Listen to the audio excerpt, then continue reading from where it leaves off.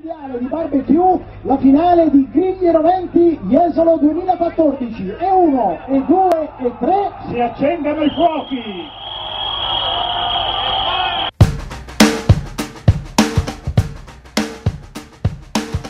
Non è mai abbastanza efficace la forza delle parole a fronte dello straordinario spettacolo di colori e sapori garantito da Griglie Roventi. La manifestazione è nata per celebrare la passione della carne al barbecue, concepita nella maniera meno tradizionale, ovvero arricchita da aromi e tradizione del territorio di appartenenza al punto che non solo coppie di cuochi non professionisti da tutto il nord-est, ma pure dal resto d'Italia, dalla Francia, dal Brasile, da Cuba, si sono ritrovate nella serata finale di un appuntamento ormai tradizionale per il Veneto. In riva al mare di Jesolo, località balneare veneziana, costicine, salsicce e braciole sono state preparate in maniera sapiente ed originale per il severo verdetto di una qualificata giuria che ha tenuto conto non solo della qualità del piatto, ma pure della presentazione e della simpatia dei suoi creatori. Tutto Veneto il podio, con una coppia mista, mestrina sappadina, come dire dalle montagne al mare, davanti a due ragazzi vicentini e a un lei-lui veronese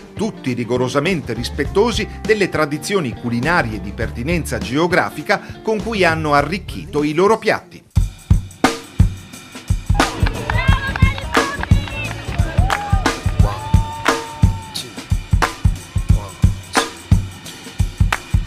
Ma al di là della gara vera e propria, tra i profumi delle griglie, con qualche VIP che si aggirava incuriosito, ha vinto l'atmosfera gioiosa e goliardica dei partecipanti, la cui voglia di divertirsi e condividere le proprie creazioni è stata l'autentica ricetta vincente della serata iesolana impreziosita dalla conduzione di Claudio Militello e di un sempre sottilmente spiritoso, a dispetto della non più verde età, Bruno Pizzul, che hanno voluto inevitabilmente dedicare un tributo ai dimenticabili mondiali calcistici brasiliani, soprattutto per ricordare con un simbolico morso collettivo uno dei momenti più emozionanti del torneo, l'odontoiatrico colpo proibito dell'uruguaiano Suarez al difensore azzurro Chiellini.